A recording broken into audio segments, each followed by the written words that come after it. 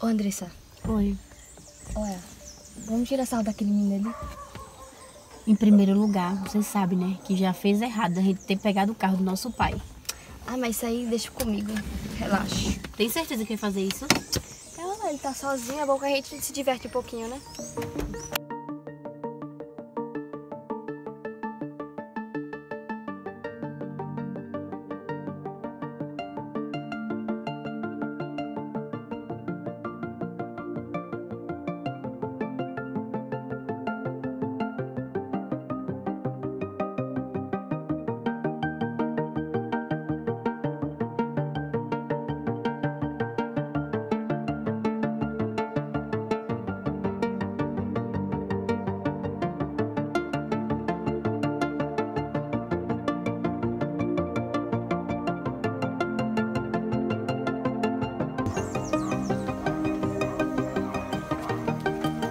Boa tarde, Boa moço. tarde.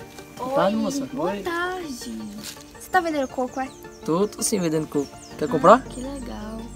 É, mas o coco não me chamou a atenção, não. O que me chamou a atenção foi você. Você é muito lindo, sabia? Oxi, ninguém, Muito lindo. ninguém nunca me falou isso não, só minha mãe que fala isso. Pois é. Mas eu te achei muito gato. E seu número desenrola, não? Nem celular tem. É porque eu sou... Você não era nem pra estar aqui, você era pra estar assim em Hollywood, sabe? Você parece um ator. Ixi, Você tá com sorte, sabe? Porque minha irmã não é de elogiar qualquer um, não, tá? tô... Ah, ele é muito lindo, tá vendo a cara dele, não? O puro Brad Pitt. Ixi, Pode ficar se achando aí que minha irmã, viu? sei lá, tô ficando até, até sem jeito agora. Ah, relaxa, relaxa. E você já vendeu coco já? Não vendi nenhum até agora, tô aqui, ó. Mal caçadão. Rapaz, como é que é a sua vida vendendo coco? Acho que é tão complicado, né, irmão? Com certeza. Complicado que só. Faço...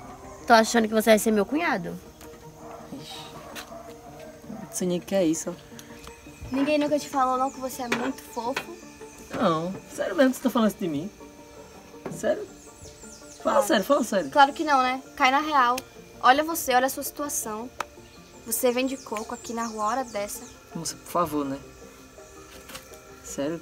Afinal, você acha mesmo que eu ia estar te elogiando? Não. Só queria tirar sarro da sua cara pra ver sua reação. Moça, eu já vivo com problemas de casa e você ainda fala isso Eu comigo. não tenho nada a ver com seus problemas de casa. É você e seus problemas. E outra, eu tenho moral sim pra falar de você, porque eu tenho tudo que eu quero. Já você fica se sustentando, fica vendendo coco? Ah, Puxa, mas ó, eu vivo tanto assim em casa e meus pais passam necessidade, eu passo necessidade, eu só vendo coco pra sustentar meus pais. E você ainda vem falar isso comigo. Por favor, moça, não faz a isso comigo não, não. é minha. Se você quiser, posso te dar uma ajuda. Não, Aquele moça. dinheiro lá, dá pra ele? Moça, É. preciso muito, é sério. Quer? Sério, quero.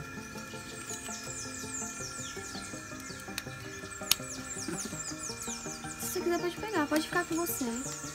Pra mim, isso aí não vai fazer nem falta, não faz nem diferença no meu bolso. Eita, eu falei pra você que nosso pai ia pegar a gente no flagra. Você esqueceu que o carro tem rastreador?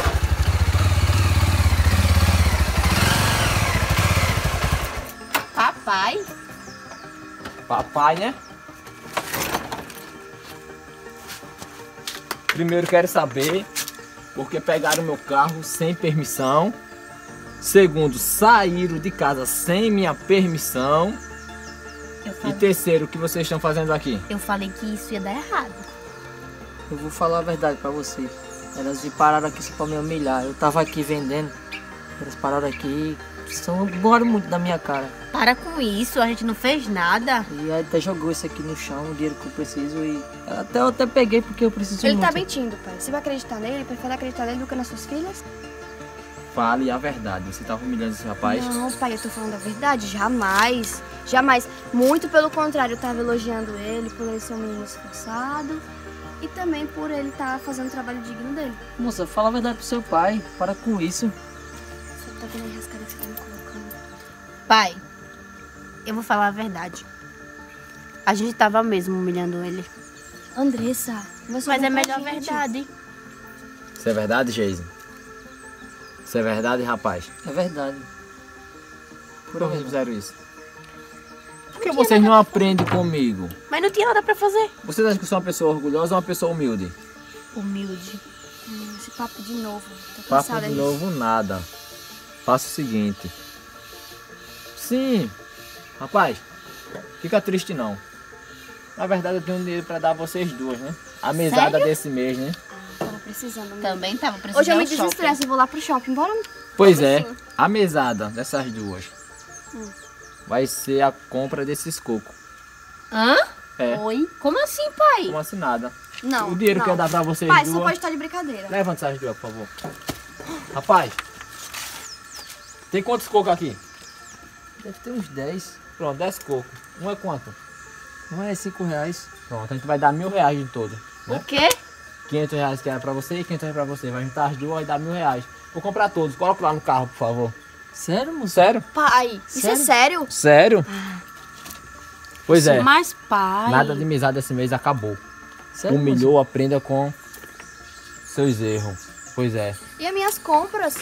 Compra nada. Passar o dinheiro pra você tá no carro, viu? Eita. Passar o dinheiro pra você daqui a pouco. Coloca lá no carro. Caraca, ganhei dinheirão, mano. Pode colocar aí. Enquanto vocês. Vocês pensam que vai ser alguém na vida humilhando as pessoas? Você, Andressa, você não é desse jeito. Você também tá humilhando um rapaz, Andressa. Pra falar a verdade, eu não falei quase nada. Ela que falou. Faça isso não. Seja humilde. Pois é.